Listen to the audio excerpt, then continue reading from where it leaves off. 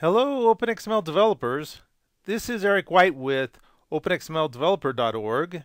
Today I am super happy to announce that Microsoft has released the source code for the OpenXML SDK version 2.5 under the Apache 2.0 license.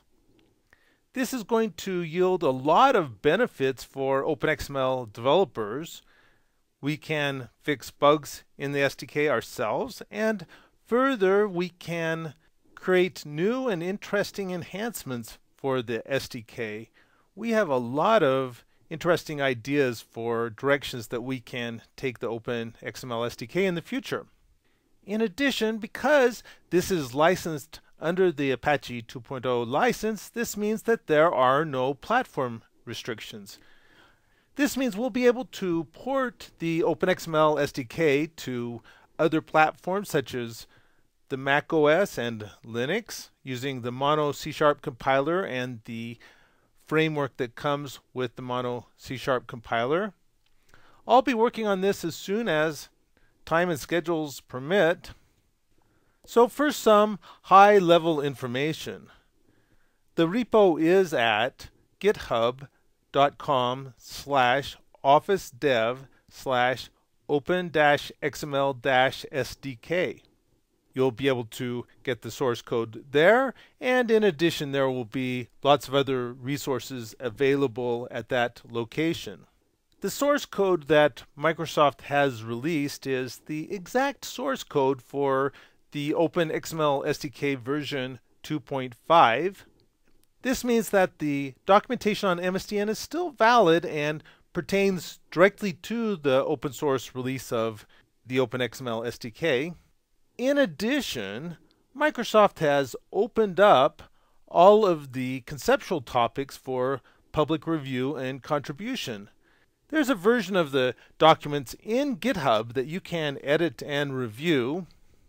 There are two primary contacts for the open source version of the OpenXML SDK. First is Chris Rae.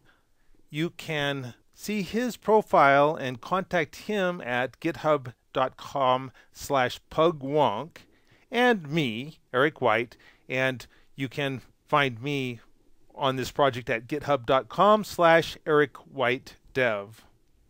There's Chris, and there I am you will be able to find lots of code samples, screencasts, and forums on the openxmldeveloper.org website. And further, we're going to have a forum here specifically for the open source version of the OpenXML SDK. I'll look forward to interacting with you on openxmldeveloper.org. My main goal of this screencast is to show you how to compile the SDK and use the compiled libraries in SDK programs. So let's get started. For this first version of the open source release of the OpenXML SDK, it requires that you have some version of Visual Studio installed we're going to use the Visual Studio command prompt in the compilation process. And any version of Visual Studio will do just about. You can use the Express version of Visual Studio. In this screencast, I'm going to show you how to build the libraries using the Visual Studio Express 2012 for Windows Desktop. That one will work just fine for you. As I mentioned, the location of the repo is at github.com slash office dev slash open dash xml dash SDK. If you are experienced with GitHub or if you want to contribute to the Open XML SDK, you'll probably want to use one of the means by which you can get the source directly from the GitHub repository. But today I'm going to really focus on how to build the SDK for typical users. So I'm going to just download the zip file and build the libraries from the downloaded zip file. So I'll click this download zip button and I'll click save as and I'll click the save button. I'll open the folder, and there's the zip file. I'll extract everything. I always get rid of this extra superfluous directory on the end there.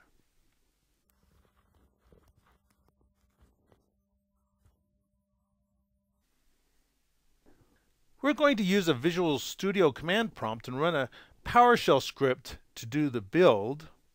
In order to do that, it's necessary, of course, to set the execution policy for PowerShell. To set the execution policy, we have to run PowerShell as administrator first. So I'm going to click the Start button. I'll type P-O-W-E-R and I'll right click on Windows PowerShell and click Run as Administrator.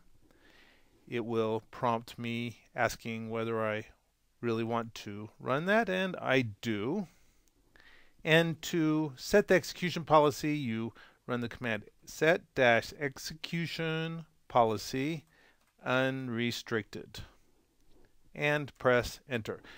It will give me the chance to confirm whether I want to set the execution policy and I'll type Y and enter.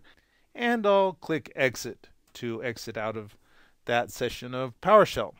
Now I'll run a Visual Studio command prompt. Easiest way to do this is to press the start button. I can roll up to see all of my programs on Windows 8 and here is a developer command prompt for Visual Studio 2012. I'll click that and now I have a developer command prompt. Next thing to do is run PowerShell from within that command prompt. And I need to change directory into this Open XML SDK master directory that was created when I unzipped the zip file. One easy way to do that is I can hold down the shift key and right click on that directory and click copy as path. Then I'll come over to my Windows PowerShell command prompt and I'll type in cd space alt space ep. And now I'm in the proper directory. I can see the root folder of the location where I unzipped this zip file. And all I have to do to build the libraries is I type dot slash bld sdk dot ps1 and press enter. Ah, one thing is that because I downloaded this from the internet, all of these files are blocked. So I'm going to press Control C and I can use PowerShell in a super easy way to unblock all of these files, I do dir star dot star dash recurse and I pipe that into unblock file and press enter. Now everything is unblocked. Interestingly enough, some things are cached, so I have to exit out of that session of PowerShell and go back in. and I'll change directory back to that location and now I'll run bld sdk dot ps1 and there goes the build.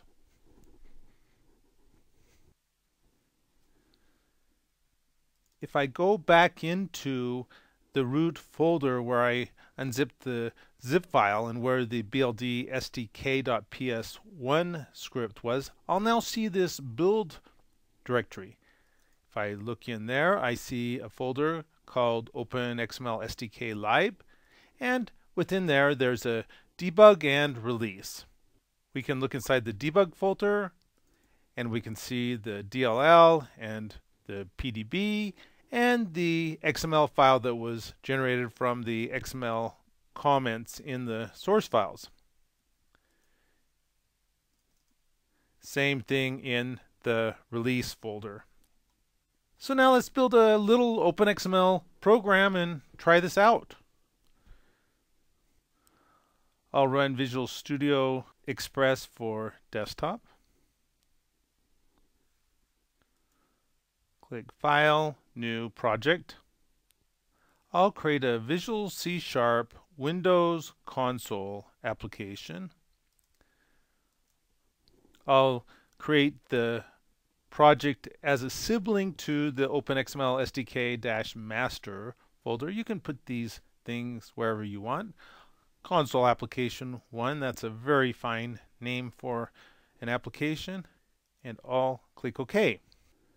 First thing I need to do is add a couple of references. I need to add a reference to the Windows base assembly. So I click Add Reference, and down at the bottom of the framework DLLs is this Windows base assembly, and I'll click OK there. And now I need to add a reference to my newly built OpenXML SDK library. I'll right click and click Add Reference. And this time I'm going to click Browse. I'll go into OpenXML SDK Master, go into Build, OpenXML SDK Lib, and I'll go into debug. I'm going to link with the debug library here because I'm going to show you how we can now debug right into the source code of the OpenXML SDK.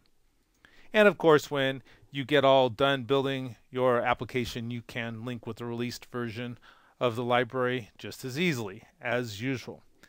I'll click Add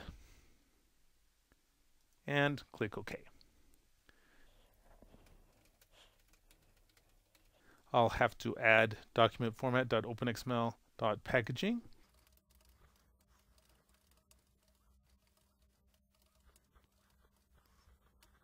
I'll add some code here. We'll do something really super simple here. We're going to open up the main document part and count the number of nodes in the main document part and print that to the console. Just as a basic test to see if we can open up a document and do something with it. Well, I'm going to have to also have a reference up here to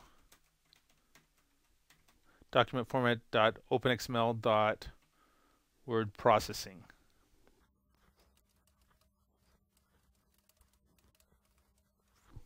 There's our very fancy OpenXML program. Now we'll have to go create a test.docx so that we can count the number of nodes in its main document part. Go into console application 1, go into the bin debug folder, right click and tell it that I want a new Microsoft Word document and I'll call it test.docx.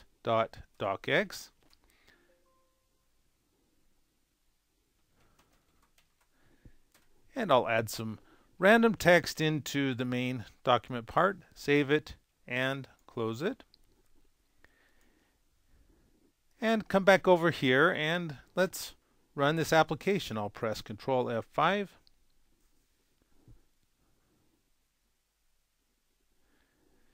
And it did the build and it ran and it told us that there were 24 elements in that main document part. So far so good.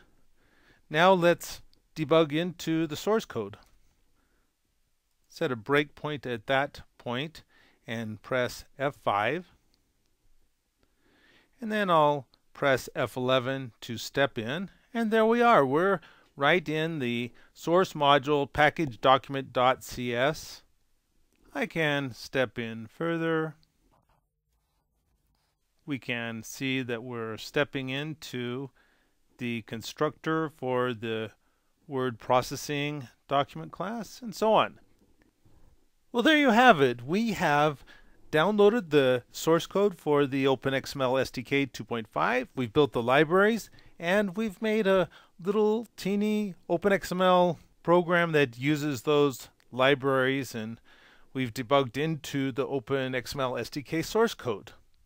I've run this on various versions of Power Tools for OpenXML. Also have tried it out with a number of other OpenXML examples. And it works exactly the same as the released version of the OpenXML SDK, the binary release. This open sourcing of the SDK is really super.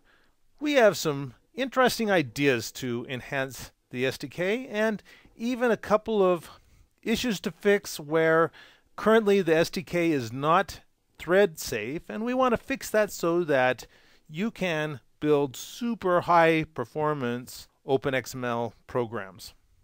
Thanks for watching this video. Come back to openxmldeveloper.org for all the latest news on this open source version of the OpenXML SDK. And I invite you to come to the forums if you have any questions. And further, I invite you, if you have good ideas that you want to contribute to the OpenXML SDK, please get in contact with us. Thanks for watching.